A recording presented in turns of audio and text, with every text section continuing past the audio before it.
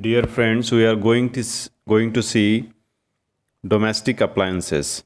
Which material material is used to make heating element that is nichrome? What is the name of the part of electric iron that is sole plate?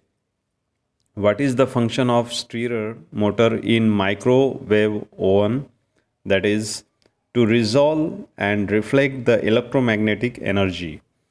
What is the purpose of U bend marked as X in geyser? That is to prevent draining of water.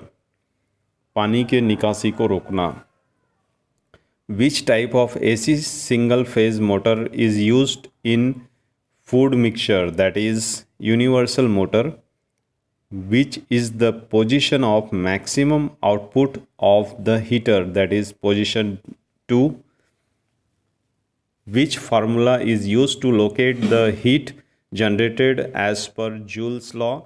That is heat generated is equal to i square rt divided by joule calorie. Then calculate the heat generated in an electric heater of 1000 watt 240 volt worked for 5 minutes. So by using this formula i square rt per joule calories we get 76.6 kilo calories. So what is the purpose of protection grooves at various places in a heater base plate?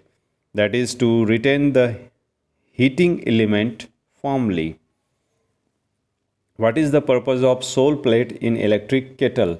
That is to keep the element in close contact with container. What is the magnetron tube filament voltage used in microwave oven? That is 3.2 volt AC what is the fault in a food mixture if it runs intermittently?